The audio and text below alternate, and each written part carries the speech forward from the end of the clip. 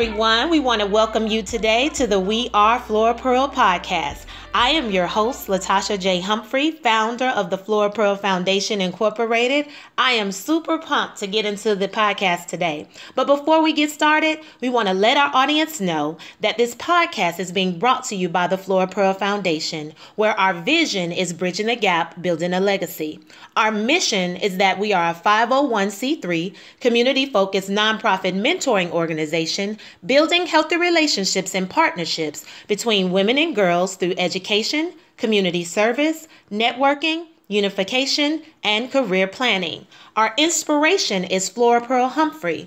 She is my paternal grandmother who taught me a lot about faith, family, and community, which is where I get my inspiration from.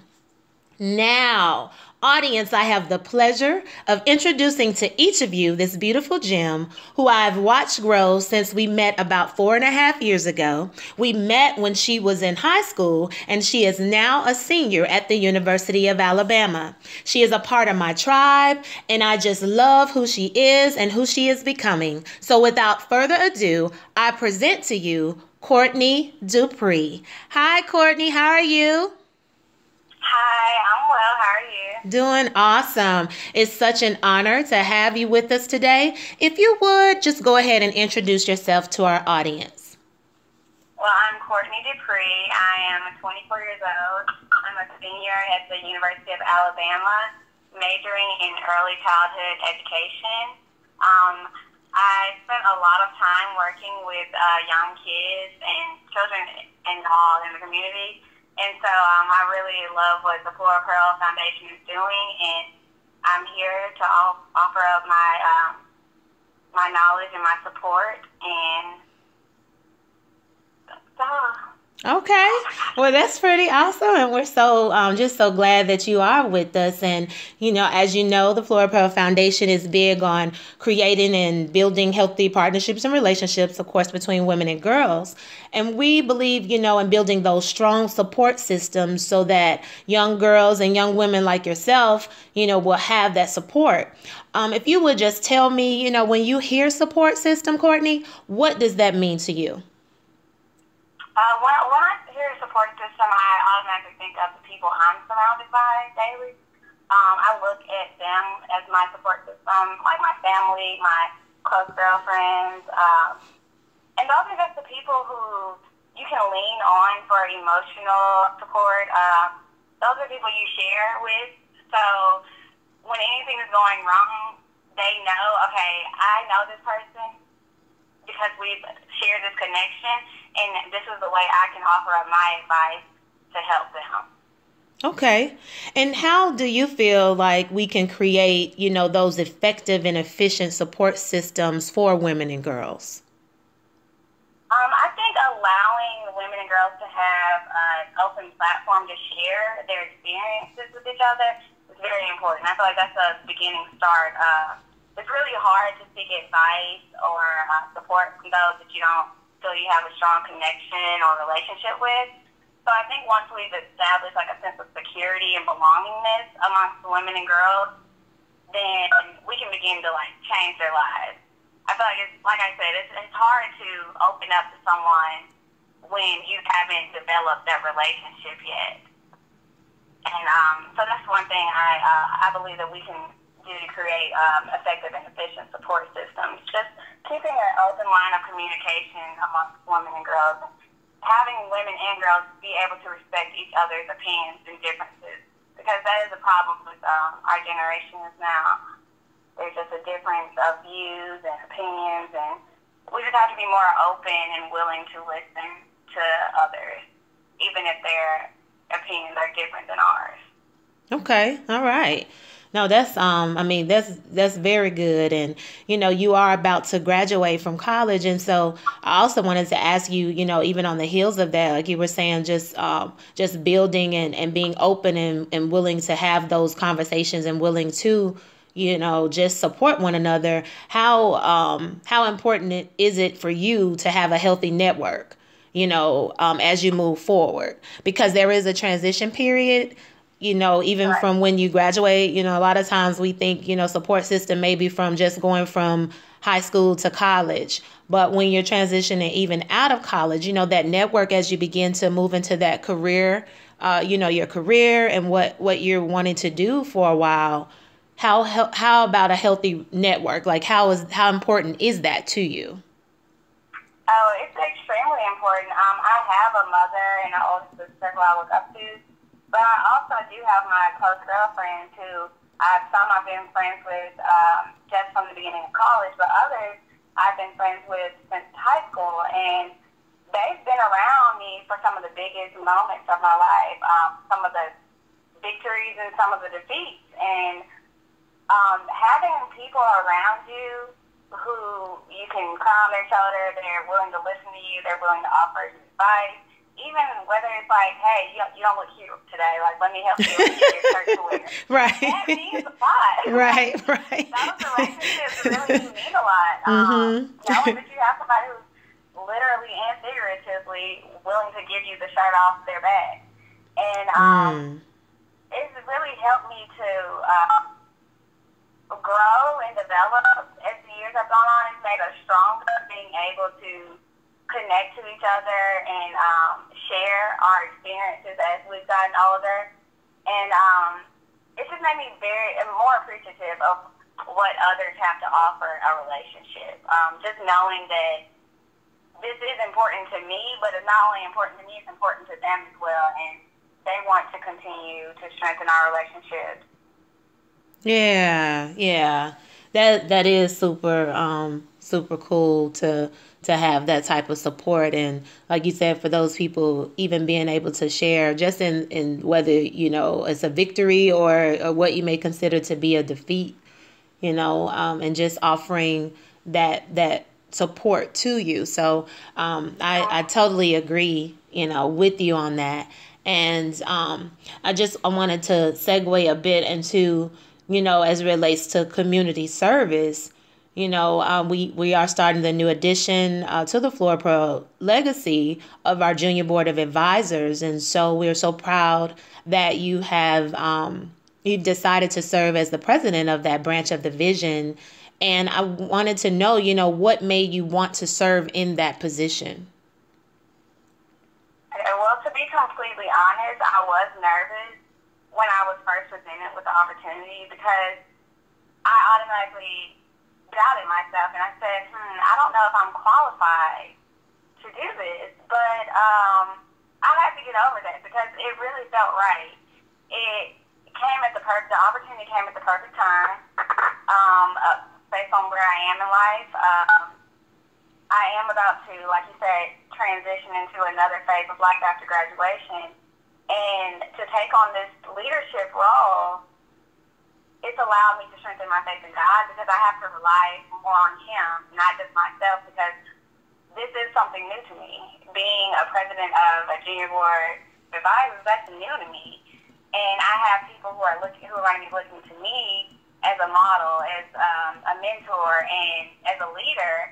And so, where I lack, I know God can come in. You know, He can he can supply me with the need with all my needs. He can tell me what to say. He he can order my steps so that I'm doing the right thing for these girls. And um, I just knew this is what I needed. Like I needed this is kind of like a breath of fresh air for me to be able to um, share and to be able to pour into the lives of others. However, I however I'm supposed to be used, you know, in this organization, but um, it was something that I knew I had to accept. It, there wasn't any doubt about it. I was, like I said, I was nervous, but there there was no doubt that I was going to do this. Yeah. It's kind of like when you have the opportunity to make a difference and you feel like God is pulling on your heart. I had to accept. Yeah. I want God. I wanted God to use me. yeah, no, that's awesome, Courtni. And if you would, you know, just share with our audience more about, you know, the different ways, even outside of, uh, you know, being the president of the junior board, uh, just share them with different ways that you've served as it relates to community service. Um, well, community service, like, it's always been very important to my family as a whole because I can remember as a child, um, we would gather up our clothes that we weren't wearing anymore or um, that we just wanted to give away, and we would give those to the less fortunate. Um, and this was just my parents' way of teaching us how important it is to give back, because we didn't get everything we wanted as kids, but we always had everything we needed, mm. and that's hmm. always made me have an inner desire to help those who, who don't have their basic needs met every day, um, whether they have a lack of food, um, so they need someone to serve food at the homeless shelter, or even giving toiletry items or clothing. Um, those things are things that we kind of take for granted. I feel like some days um, we wake up, we know we're going to go and eat food in the kitchen. We know we're going to put some clothes on our back, but some people don't have that. So at a young age, I knew you have to be willing to help those who are in need. And um, as I worked in school, I was cheered from middle school to high school, and through that, we did community service every year. We did it year round, and um, we participated in several community service um, outings. Um, we did build house, help build houses for Habitat for Humanity. Uh, we ran uh, the 5K for Race for the Cure, and um, we actually um, seasonally served at Jimmie Hale Mission as well. Um, some girls did that separately, but that was just something like those things have kept me knowing in my mind, okay, life, yeah, I have my life. I have things that I do every day, but to care about someone else, to give to someone else, to pour into your community, that's so much more rewarding than me just doing my everyday thing. Like, I can remember even um, around Christmas time, we had so much leftover food, and all I wanted to do, I couldn't wait to go out to just give it away to uh, the men on the street and they were so appreciative. Like that made me feel so good. And I took it as, you know, this is just something that I do. Like I took it as something that I it's just instilled in me to do to give back. But the way it changed their lives, that that meant so much more to me than how I felt about myself for doing something right. You know, like right. like you know, that person probably woke up this morning thinking they weren't going to eat. But mm. look where I am. Like, I was able to do that, so I did it. And I thought if more people, you know, saw what they could do and actually did that. Right. And we would have so much more unity within our community, and there would be so much more help um, given out to those in need. Right. Right. No, I totally agree. if we would only you know, focus in on that, what we could do, you know, and the solutions really, and well, is started, you know, where you are and what you can do, and not necessarily depending on what somebody else can do. It really is you starting with where you are. So you're, I mean, you're absolutely correct on that, you know. So, you know, and and basically, you know, with that, I, I wanted to know kind of um, as it relates to even when you talk about just generations period or just you know what we can do or what are the different things we can do. Um, i have a question with you uh, you know well for you about the generational divide.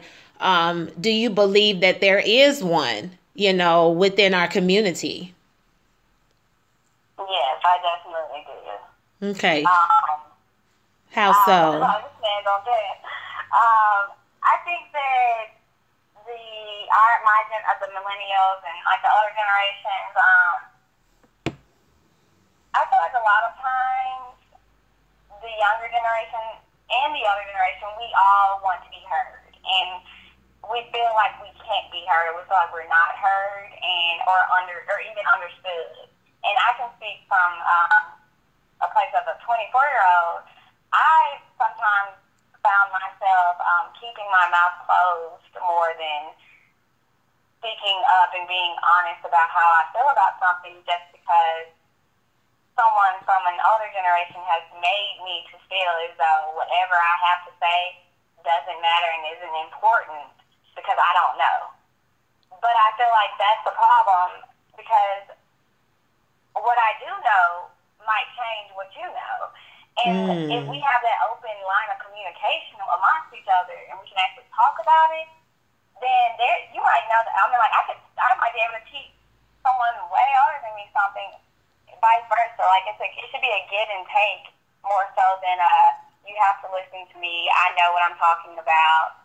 and I just think there's a big um, misunderstanding, and a lot of people walking around as if they they know it all. But we have to come to we have to come to a crossroads where we're just like, you know what, we're going to try to collaborate. We're going to share ideas. We're going to share beliefs. We're going to share our values.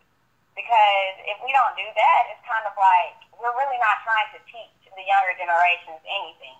We're just trying to tell them what's been going on and how this worked or how this didn't work. But we have to be able to teach. Like the world is constantly evolving. Things are constantly changing.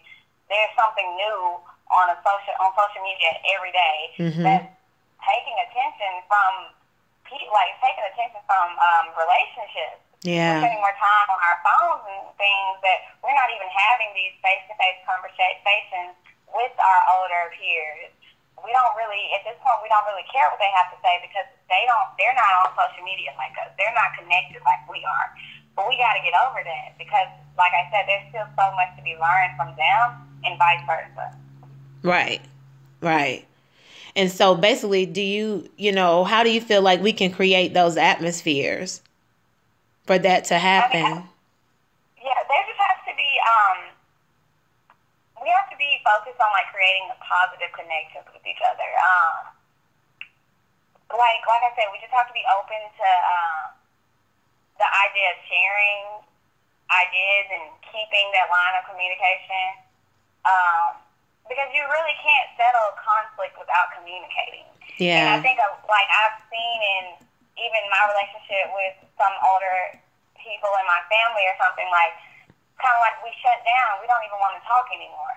Hmm. We just walk around with a chip on my, our shoulder and we're mis- we feel like we're misunderstood. We feel like nobody cares. No one's listening. But sometimes it takes stepping out of how you already feel or the notion you have about somebody or something or whatever the situation is, and saying, okay, I know that this is what it looks like, but what can I do to make sure it doesn't pan out the way it looks like it's about to? Mm-hmm. Or like maybe that means this person probably isn't going to listen to me. They don't understand what's going on right now. But let me sit down with them. Let me talk to them about what's going on. Let me share. Because like I said, they might be misinformed. It might be a huge misunderstanding. But without that communication, there is no way to solve it. And um, I think that the growth happens when you can step out of what you already know and learn something new. Right. So if we get if we can get out of like the whole mindset of we got it all figured out, no one can teach us anything, we can start to learn. We can start to bridge that gap. We can come together and we can make a change together as women of all ages. Right. Right and and even what you're saying you know even with that you i know you were talking earlier about you know your support system. And so i wanted to segue into you know the mother daughter bond. And and really you know that has a lot to do with you know like you what i hear you saying a, a lot is about that communication about you know having those lines open you know being willing to listen you know, and really not necessarily want to be right, um, but being willing right. to be taught. You know, um, it's not about because if we don't, it, to me, if we, it's, it's not for you to win and I lose. We both lose if it's not helping right. us move forward. So it's not a I won, you know, and then the other person is like they didn't. No, I mean if we can't win together, then we both lose, you know. And so, you know, the mother daughter bond is very important to, you know, the Flora Pearl Foundation. And um, I wanted to ask you, you know, uh, how how did your relationship with your mother prepare you to become the woman that you are today? Um, well, I feel like uh, my mom has she instilled a sense of determination within me, and um, she's taught me definitely to work hard for all the things I want in life. Um, we've been we've always been close. As I've gotten older, things have kind of changed because there is that um, there is that issue. there is that issue. I'll be honest of uh, me trying to grow on my own and her wanting to, you know, still be my mom, fully hands on and direct me and lead my steps. But um, we're working on that. We really are because she's taught me that I am capable of doing anything that I put my mind to. Mm-hmm. And with that, that has that's that's gone with me throughout my years. So now, as I'm entering a, about to enter a new stage in life where I really can go and find a job and really do something that I dreamed of doing, she's taught me that, and so now I'm like, I'm I'm ready. I'm I'm wanting to do that, and she's always um she's always loved me unconditionally, Mm-hmm. and uh, taught me to put our fam like put the family first.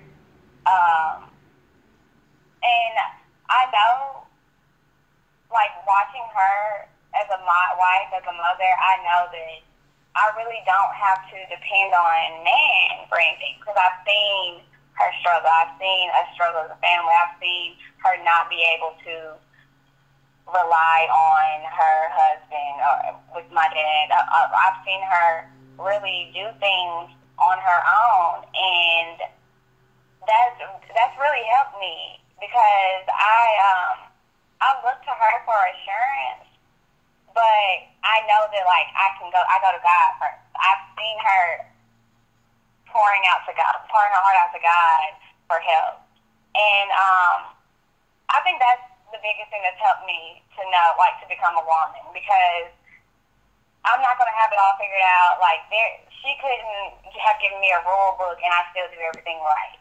Like that, that's not gonna happen. But the fact that she has instilled so many um, good qualities in me, that's helped me to know. Like, look, I'm not gonna have it all figured out. I have these good morals and these values. They're here when I need them. But at the end of the day, like if I have God to turn to when I'm confused, then I'm good. And I feel like that's probably the biggest thing you can teach anyone, whether it be a mother-daughter relationship, father-son, whatever. To just rely on God because we, like, she's not. My mom isn't perfect. She's not always going to do quote unquote right things. But I know that she's taught me that. She's taught me that she's not perfect. She, she's shown me that she's not perfect. She's been very transparent with me. She's been open with me about things that she needed to tell me so I can understand her better, so I can understand why she's made some of the choices she's made. And that's helped me to understand, you know what, Courtni, like, you got to navigate through this life. You got these keys to success, but things may come your way. You just have to, you got to be able to, like I said, rely on God and, um, so you can move forward. Right, right. And what would you, I mean, you know, even at this time, because you and your mom, you all have a, a pretty good relationship. And like you said, no, it, it may not be perfect, but there are certain things that she instilled in you. What would you say to a mother to encourage her, you know, in the situation, like, you know, and being a mom? And the reason why I say that is because, you know, coming from a daughter, maybe to encourage her if she is having a challenge with relating to her daughter, what would you say to encourage a mother? Um, I would, I would tell moms to be transparent with their daughters. Um, I think that's probably the biggest thing because sometimes, um, especially the younger generations, and there's just so there's so much in the world, so, like so much sin, and just there are a lot of things that are distractions to us, and mom isn't always going to be able to be there. Mom isn't always going to be able to uh, hold your hand or to keep you safe. But by telling your daughter, hey, you know what, this happened to me. Maybe you should take this route because I don't want it to happen to you. Um, that can help strengthen your relationship. And because a lot of times we look at our moms as though they're superwomen. Like, they do no wrong, they're perfect and sometimes it can be really heartbreaking when you find out, oh man, my mama did this. Like, what? Why she didn't tell me? You know, you feel like, why didn't she tell me? Uh-huh. Like, I would have understood when this happened to me. You know. Mm-hmm. So I feel like you can be transparent with your daughter and let them know this is really what it is. I I went through this, but look where I'm at now. Like, look at the change I'm making. Look at the example I'm trying to be for you that helps to create that relationship. That helps to keep that openness, and it really instills a sense of trust. I it's very hard to open up to somebody that you feel like you cannot trust.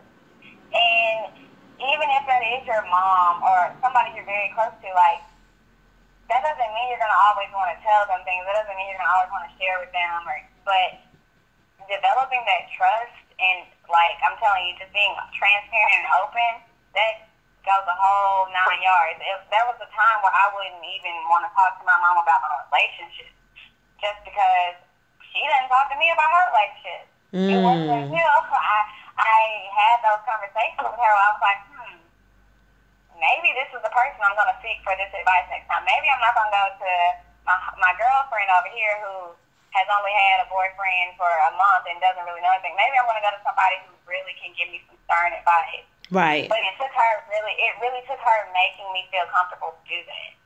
And um, she didn't come to me as though she was my authority figure or as though I was going to get in trouble for telling her this. I, she never made me feel as if I would be condemned for being honest. Mm. And that's mm. important too because no one's going to open up to you if they feel like you're going to look at them and judge them or you're going to think differently of them. They want to know that it's safe. They want to have that safe zone. They want to feel that um, belongingness in your life. To know right. that we ha- we share this common thing that that means a lot to a child. So I think just being open and um, transparent with your child, your daughter, that uh, that goes a long way. Okay. And in turn, kind of on the flip side, then, you know, what would you share with a, a daughter, you know, as it relates to mom? Um, I would say um, to be very, I would say to be respectful, to um, trust that your mom wants your best interest. I mean, has your best interest at heart, and um, to not not just rely solely mm-hmm. on her advice, but use your own brain. Um, like be smart about the decisions you're making because even though your your mom can help you all the way all day, but the decisions you make for yourself will take you somewhere, or, or they won't take you somewhere. And so you have to be um, you have to be able to listen, but also be uh, be smart enough to do what's best for yourself, and not don't always feel as though um, you have to do as I'm saying, I'm speaking from someone who is 24 and about to graduate college and has had jobs and paid paid bills before. And so, so I'm not going to say necessarily for the younger girls, but for you know someone in their teens who is trying to get into adulthood as a woman, and I would say definitely to um, trust yourself, but seek advice from your mom. Don't be afraid to talk to your mom. Don't be afraid to tell her things because sometimes your mom may feel that fear. It's not always the daughter who feels fear of coming to the mom. Sometimes the mom feels fear coming to the daughter.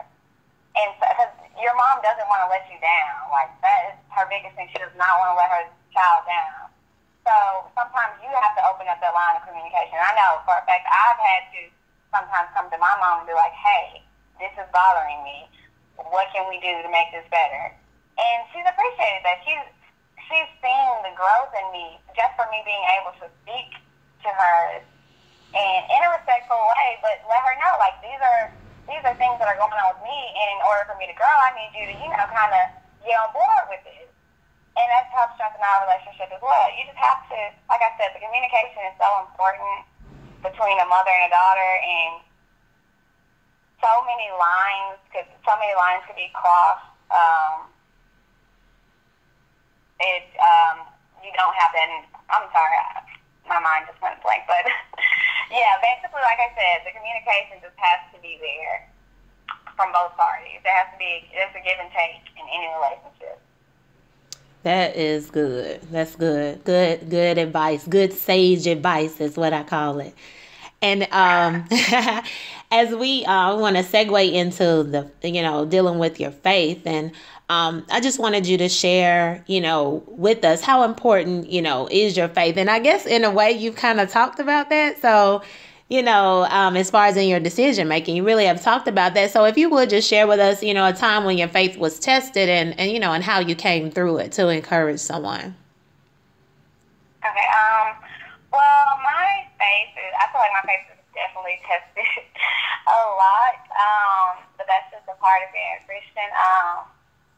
I remember a time when I didn't know how my tuition was going to get paid for school. Um, and because school is so such a big event in my life, like it's taking up so much of my life. Um, I've been committed to it for years now, and to know that hmm, I might have to sit out a semester because my mom is like, Courtni, things are getting real rough. Um, don't really know how I'm going to pay for your school.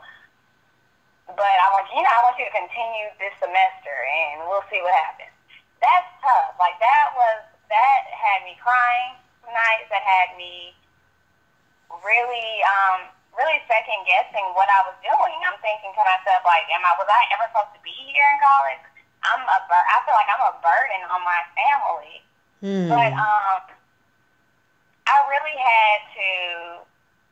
I really had to like get in tune with myself and understand that everything happens for a reason and I'm right where I am for a reason. I'm I'm in the perfect place. God has me here for it. Like this is all for a reason.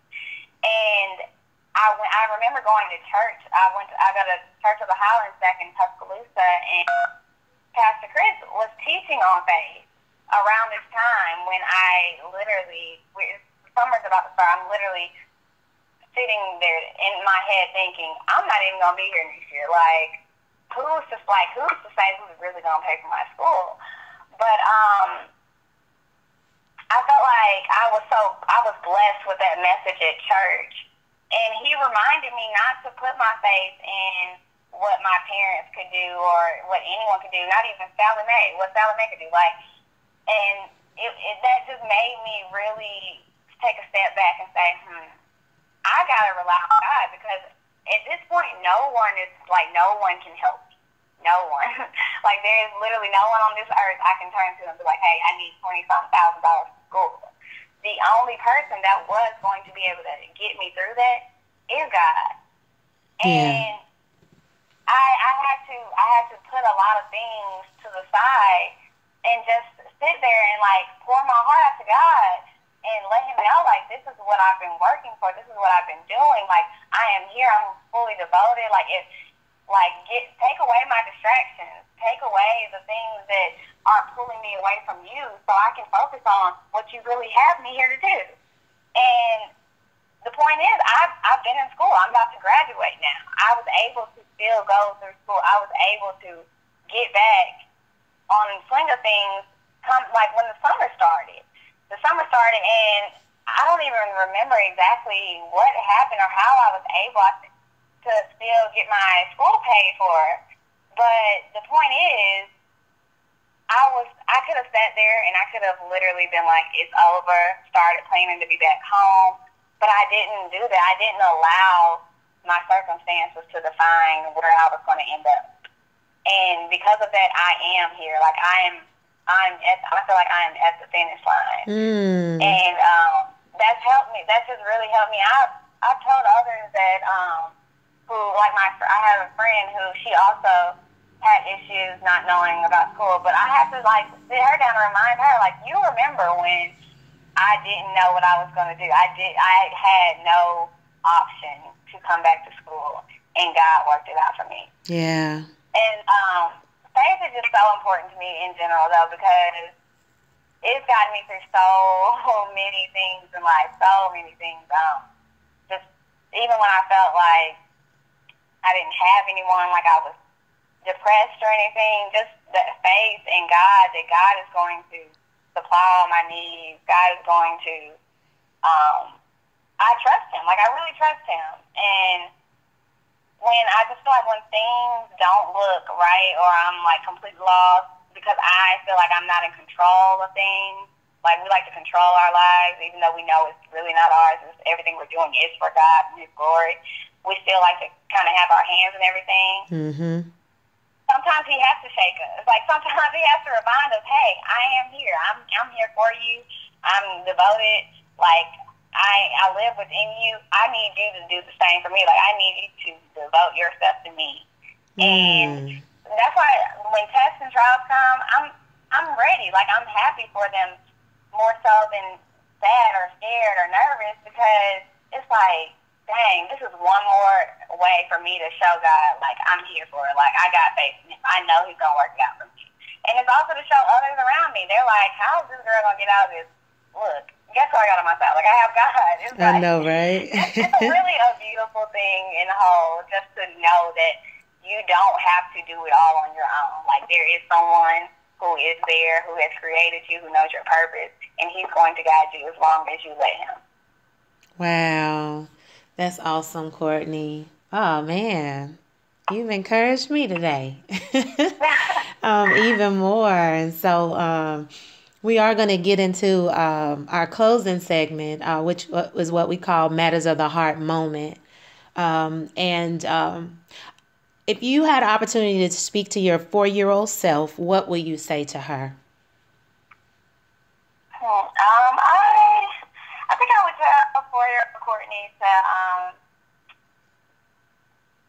honestly just appreciate the time that I have here, and um, especially with my family.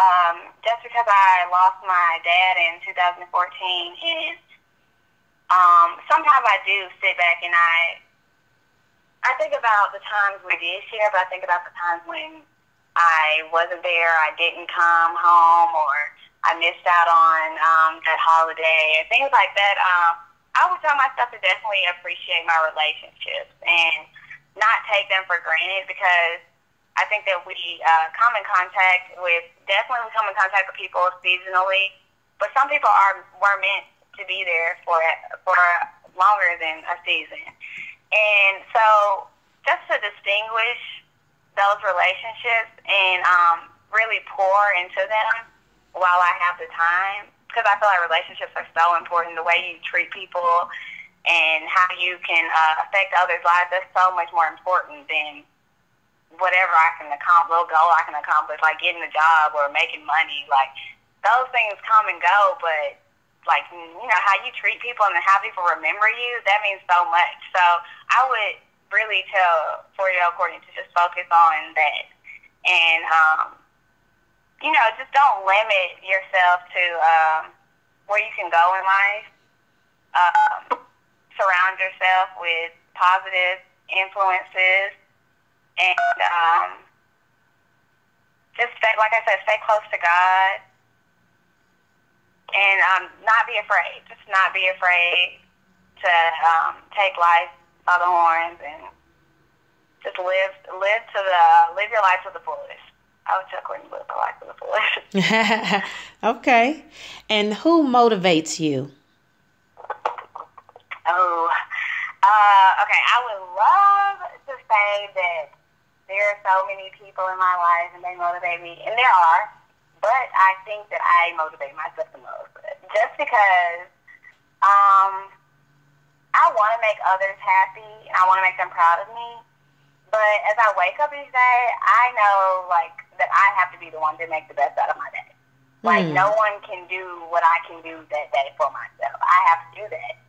And um just staying focused on like what my purpose is or the purpose I feel like God's placed on my heart, um, that helps me. Um believing uh believing in myself um helps to motivate me. Um, just knowing that, you know, I things may not, I might have woke up this morning and I'm tired and I feel like I have a, such a busy schedule, so much to do, not enough time today to accomplish it. But look, I like this life is my life to live. Like if I really want to live out, like I said, the purpose that I feel like God has placed in my heart, I have to be that one to say, you know what, Courtni, like you're gonna get through this you're gonna make it. You're gonna make it to the end of the day. You're gonna have all your things accomplished. And I, I like. I really have to be that driving force for myself. Um, it's just really hard. Like I said, it's really hard to just have others around you constantly saying, "You got it, you can do it," if you don't truly believe that for your own self. Um, there just has to be like a burning desire in your own heart to want more out of yourself. And if you don't do that, it's kind of like, you know, you're just always going to be living life trying to feed off of others. And you want to be able to wake up and say, hmm, I, I feel this in myself. I, I'm motivated to do great because I know I can, because I have done it. And that energy flows to others. So, mm-hmm. you know, like, it's really hard to, um, if you can't motivate yourself, it's hard to motivate others. Mm. You can't really tell someone how to do something if you don't do it yourself. You have to be that teacher. You have to show them, look, I didn't want to do this, but I made, oh, I got myself up. I got myself together to do that. You can do it too for yourself. Like you can, you can want more for yourself as well. Right. Right. Well, good. And so, what last minute piece of advice do you have for our audience today? Uh, I say um, just keep God first in all that you do and um, allow Him to work in your life and use you. Um, like I said earlier, we um, we like to think we have it all figured out and we know everything, but I can speak from a place of experience when I didn't know what to do and instead of acting on my uncertainty, I prayed about it and rested, and then allowed God to come in my life and just do the unthinkable. So my uh, my last minute of, of advice is definitely to just keep God first and um, stay focused on the plan He has for you. Even if you don't know all the steps, we're like sometimes we're not supposed to have it all figured out right then and there. Sometimes that'll mess us up. So just uh, rest in the uncertainty and trust that He wants the best for you in your life. And um, I feel like that's the easiest way to navigate through this life because it is hard. There will be tests, there will be trials. But um, as long as He's living within you, as long as you're focused on Him, as long as you're trying to continue to develop and grow their relationship with Him, um, all your other relationships will flourish, whether it be with your mom and your daughter or your friends, all your relationships will flourish when you have your relationship with God right. All right. Well, Courtni, we want to thank you so much for being with us today and sharing with us. So thank you. Thank you for having me. You're so welcome. And our goal at the Flora Pearl Foundation is to be a blessing to all of those we come in contact with by operating with the spirit of excellence. We want to thank you all for listening today and you can visit our website at www.florapearlfoundation.org. We look forward to spending time with you all each week. We'll talk to you soon.